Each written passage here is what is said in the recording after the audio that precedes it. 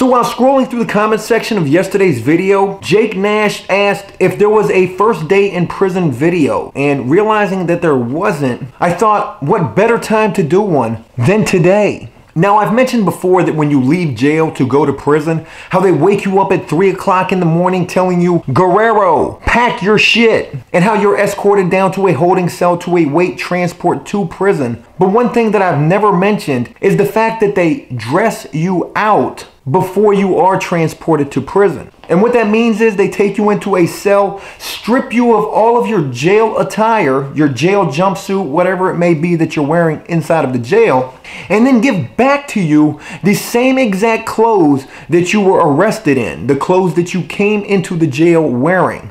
And in a lot of cases, you have not seen these clothes in a very long time. It could be months or even years. But again, they strip you of your jail attire and put you back in your street clothes. And it's the craziest thing in the world getting your actual clothes back, putting that clothes on that you haven't worn in however long, but knowing that the only reason they're giving you this clothes to wear is because they want to get you out of their jail clothing before they ship you off to prison. So after that, it's transportation time. Handcuffed, feet shackled, and hands shackled to your waist. You cannot go anywhere. And while sitting in that most uncomfortable position for most likely hours, your wrists are aching from these cuffs that are just cutting into your circulation. But you're not even really thinking about the discomfort and pain that you're in so much as you're thinking about the fact that, holy shit, I'm going to prison. What is this experience going to be like? I've never been to prison before. All I know of prison is what I've seen on TV stabbings, rape, extortion, beatings. I can't even lie to you saying that I wasn't because, to be completely honest with you, I was pretty damn terrified. But that fear was something I could not show at all. I mean, I literally had to have my game face on and at least appear like I've been here before.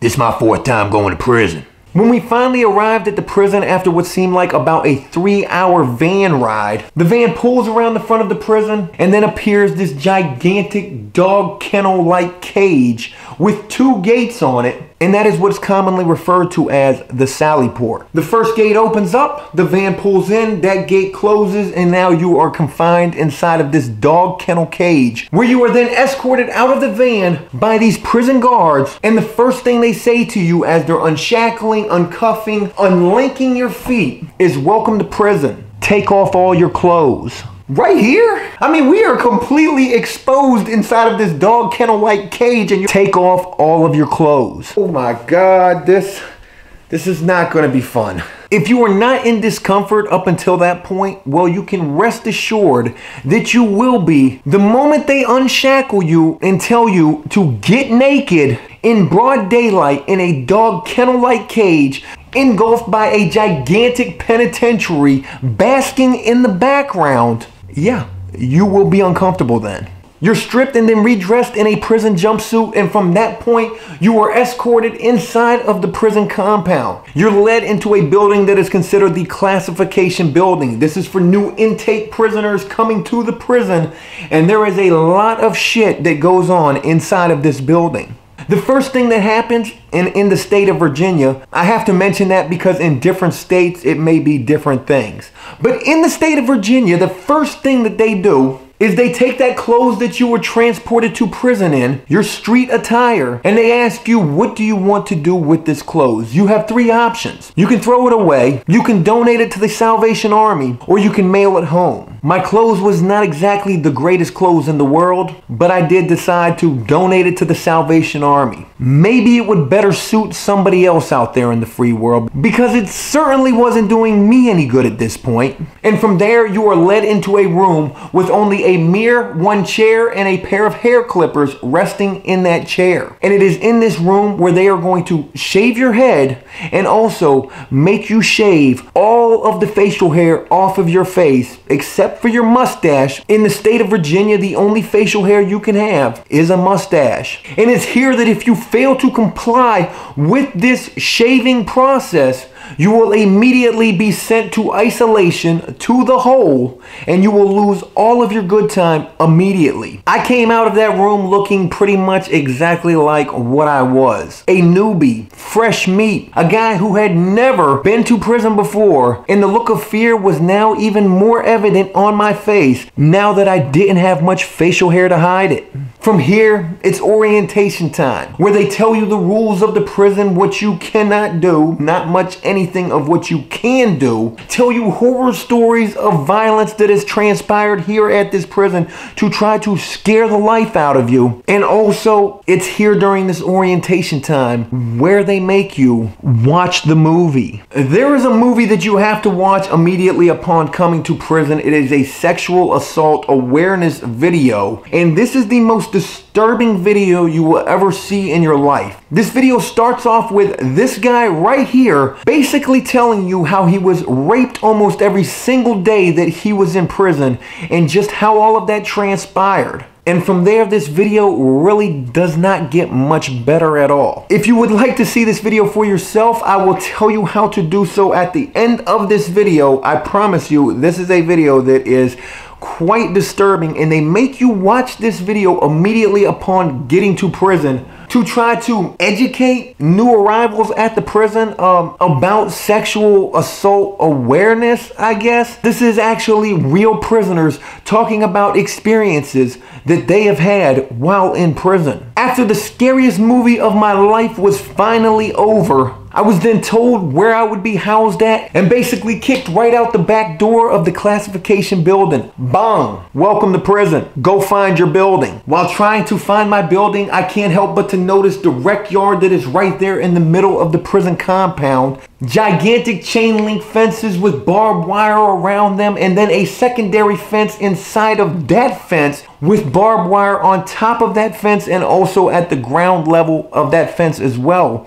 And it was during this moment as I'm seeing this rec yard for the first time and trying to find my building that I actually realized just how many fences there were that separated me from exactly where I was at that point to the absolute exterior of this prison compound. I mean, there were at least five fences that separated me from exactly where I was to outside of this prison. If I had any plans of escaping, there was no way I would be able to. When I got to my building and walked into the cell block, I'm not gonna lie, I was pretty nervous. I had no idea what type of environment I was walking into, and as the gate opened and I first entered this housing unit, I tried to gather as much intel as I possibly could immediately upon entering that housing unit of just what this would be like as I walked from that front gate to my actual cell to put my stuff away. And it was during that short walk from that front gate to my actual cell that I realized just how fucking out of control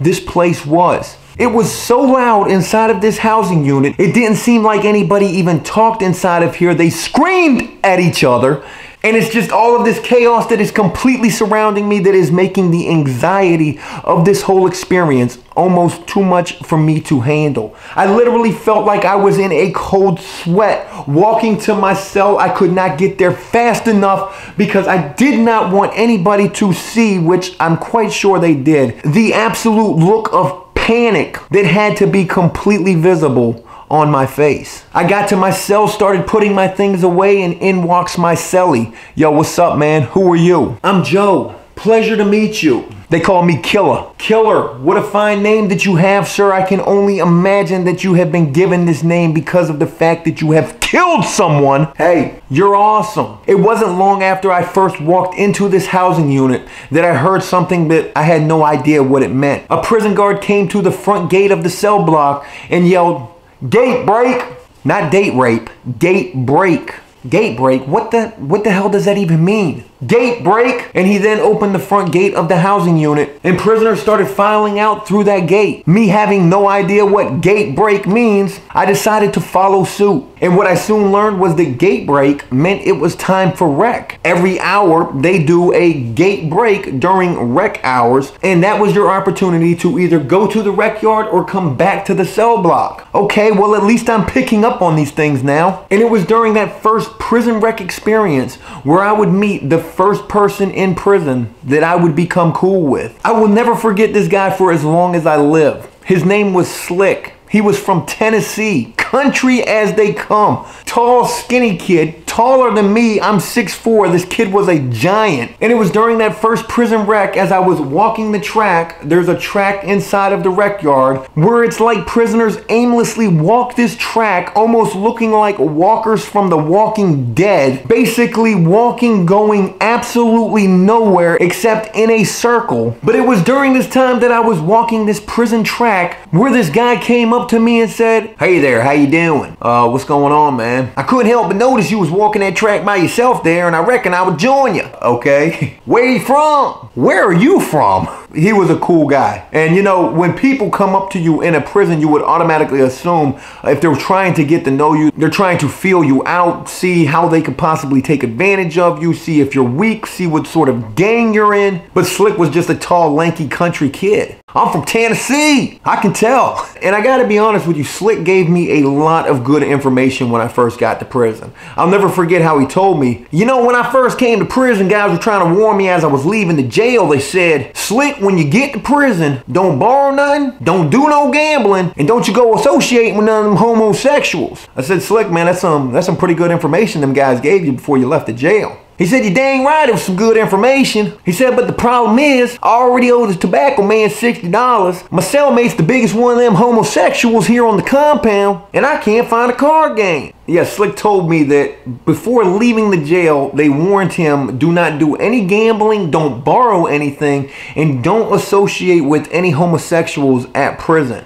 And then he tells me that since getting to prison, he already owes the tobacco man, the guy who has the cigarettes in prison, he already owes this guy $60. His cellie is the most notorious homosexual here on this compound, and how he can't find a card game to do any gambling. This guy was having the time of his life here in prison. In fact, as we continued to walk around that prison track, Slick actually pointed out to me who his notorious homosexual cellmate actually was. There we go right there, that homosexual cellie of mine. What? Where? See that guy over there sitting next to that other guy on that picnic table? Yeah, the one right there with his hand making that jerking movement next to that other guy. I actually witnessed Slick Cellie sitting out on a picnic table next to another prisoner with a shirt over top of the lap of the other prisoner while Slick Cellie sat there jerking this guy off right there on the prison rec yard. We walked by this guy and he was like, we literally walked by this guy and it was like, hey Slick,